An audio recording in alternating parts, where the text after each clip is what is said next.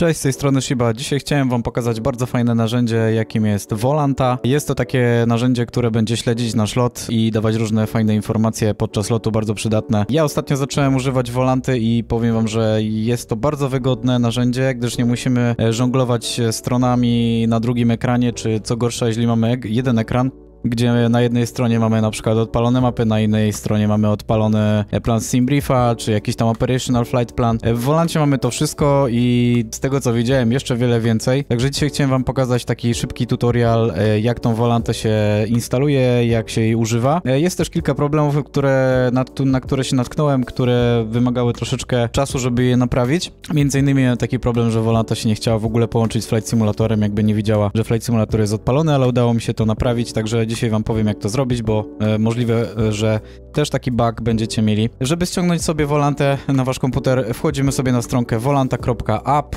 app. E, macie wszystkie linki z filmu w opisie, także żebyście mieli łatwiej. Ściągamy sobie Volantę, ja ją przed chwilą usunąłem, tak żeby razem z wami jakby to wszystko sobie tutaj zainstalować. Ściągam Volantę na pulpit, powiedzmy sobie, odpalam. Jak widzicie, ja tu już jestem za, zalogowany, ale żebyście e, wiedzieli co i jak, to ja sobie tutaj e, się wyloguję. No jak odpalimy wolantę, no to oczywiście się pokazuje, e, pokazuje się nam ekran loginu, trzeba sobie założyć konto. Jak już macie konto założe, założone, to sobie wpisujecie tutaj login i hasło, wiadomo. Nic tutaj nowego nie ma i się nie zgadza. Ok, to było dobre hasło. E, w takim razie, jak widzicie, tutaj Volanta nam się odpala może trochę powiększę. Jesteśmy teraz na Cyprze, bo tam ostatnio leciałem, ale w tym momencie znajdujemy się w Katowicach i Volanta wykryła mój mój symulator włączony, jest tutaj zielona lampka się pokazuje, ale wcześniej miałem taki problem właśnie, że nie, nie widziała, że mam odpalony symulator, w ogóle nie wykrywała mojego samolotu i tak dalej, i tak dalej. E, więc żeby temu zaradzić, słuchajcie, w, e, zaraz wam powiem jak to naprawić. Wchodzimy sobie na stronkę cdnvolanta.app. Ten link będzie w opisie, także sobie go tam znajdziecie.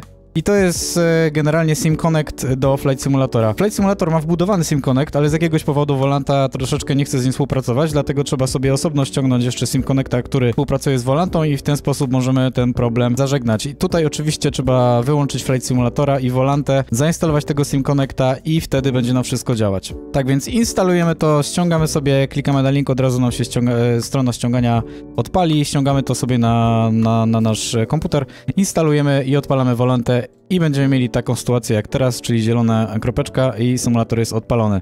I co my tutaj mamy? Możemy sobie ściągnąć e, plan z Simbriefa. Ja wcześniej sobie w Simbriefie tutaj ustawiłem plan planotu z Katowic do Gdańska. Wygenerowałem sobie Operational Flight Plan i tak on wygląda. I żeby go ściągnąć teraz do Volanty, musimy wejść w opcję, jak już się zalogujemy oczywiście. E, potem klikamy w Connections i wpisujemy Simbrief Username Shiba 320 jest mój Simbrief username. E, żeby znaleźć wasz Simbrief username, klikamy sobie w My Account, Simbrief Data i tutaj macie username Shiba 320. Ten username należy właśnie sobie wpisać w wolancie tutaj i w ten sposób klikamy sobie Save Changes i mamy naszą wolantę podpiętą do SimBriefa. Możemy sobie też pisać VATSIM CID, czyli nasz ID z VATSIMa E, żeby nam pokazywało e, nasz lot na Wacimie też i ja to, to mam wpisane, nie jest to wymagane, no ale zawsze fajnie to mieć wpisane. No i dobra, jak już mamy to ogarnięte, no oczywiście możemy sobie też połączyć z Discordem, możemy sobie połączyć z Twitchem, Navigrafem. Ja Navigrafa nie mam. Patrzę, co tutaj jeszcze jest ciekawego. Możemy sobie zaimportować dane z Sim Toolkit Pro. Możemy iść w Premium. Daje nam to możliwość na przykład e, zapisywania obecnego stanu lotu, czyli jeżeli nam się wykrzeczy symulator albo, nie wiem, musimy odejść od kompa czy coś takiego, to Wtedy zapiszą nam to miejsce i możemy kontynuować później. Tego samego miejsca jeszcze jest tutaj kilka innych takich e, różnych perków, które dostajemy.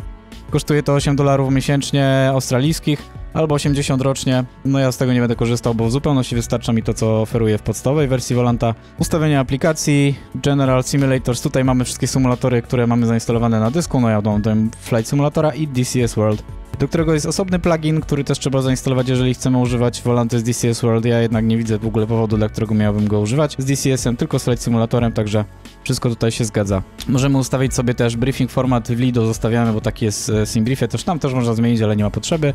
E, no i oczywiście jednostki, kilogramy, funty Co jest fajne, możemy sobie dodawać screenshoty, i które będą widoczne dla innych pilotów na mapie. E, Żeby to zrobić, musimy dodać folder e, ze screenshotami, gdzie te screenshoty będziemy umieszczać. Wtedy one się pojawią jako możliwe do dodania na mapie. I taki folder sobie klikamy tutaj add folder, żeby dodać i wybieramy sobie folderek i on tutaj się pokazuje. Dobra, to już wszystko, jeżeli chodzi o opcje. E, Wracam do mapy. Jak widzicie, tutaj się otwiera od razu Your Active Flight, czyli mój aktywny lot. E, Ja sobie tutaj dodam Add a Flight Plan, żeby dodać e, flight plan. Simbrief się sprawdza, czy jest jakiś aktywny. E, No i zobaczcie, jest tutaj guziczek Import from Simbrief, pokazuje się EPKT do EPGD. Klikam sobie to. I te pola nam się tutaj wypełnią, pokazuje nam się trasa lotu, co jest bardzo fajne. A niedawno odkryłem jeszcze jedną fajną rzecz, czyli... Ale to wam za chwilę pokażę, może będzie lepiej widać.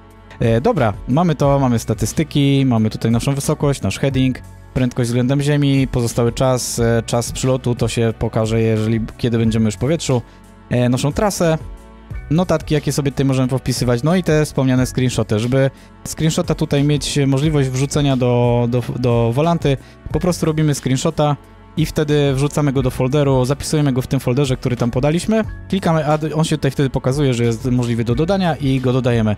Pokazuje się wtedy taka ikonka, może tutaj gdzieś jest taka ikonka, może o tu na przykład, taka ikonka na mapie, klikamy sobie w tą ikonkę i możemy zobaczyć screenshota, którego my zrobiliśmy, albo ktoś inny kto zrobił. Klika, klikamy tutaj lajka, można dać lajka. Dobra, fajnie. E, jedna ważna sprawa również to jest taka, że mamy tutaj dostęp do panelu z naszym Operational Flight Plan, klikamy Flight Briefing, pokazuje się dokładnie to samo, co mamy w SimBriefie. Możemy sobie tutaj wy, wybierać, które informacje chcemy, żeby nam się pokazały, wagi, czasy, flight log, wiatry, pogoda, notamy, wszystko, co mamy w Operational Flight Plan, tutaj mamy przejrzyście podzielone i pokazane, także to jest mega, mega przydatne, nie muszę alt-tabować do, do SimBriefa, tylko sobie tutaj od razu to obczajam.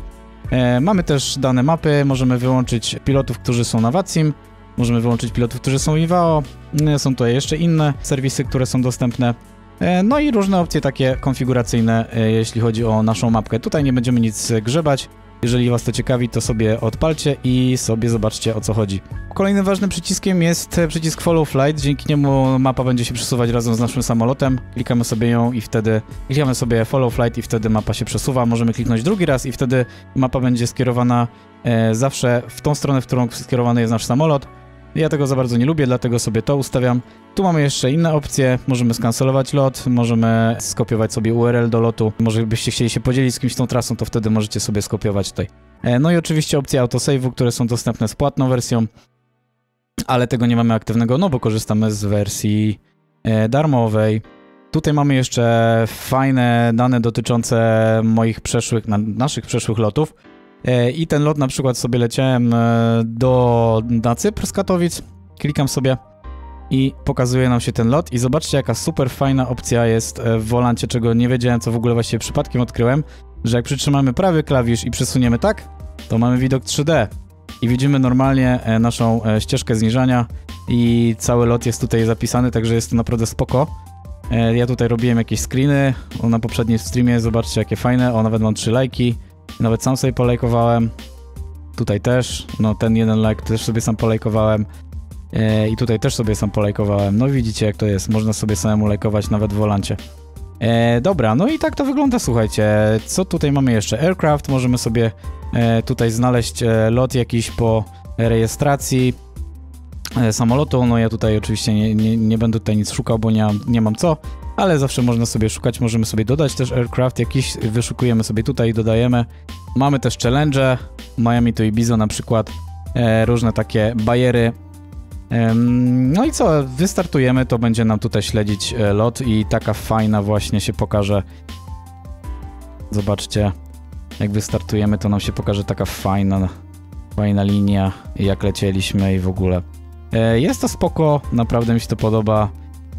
Także no zachęcam Was do używania tego, szczególnie z uwagi na to, że jest tutaj ten Operational Flight Plan, e, czas, czas z czasami, wagami, wszystkimi informacjami, które e, możemy potrzebować. Możemy sobie dodawać też znajomych, tworzyć jakieś party, e, tego typu rzeczy. No, kto co, co kto lubi, co kto chce.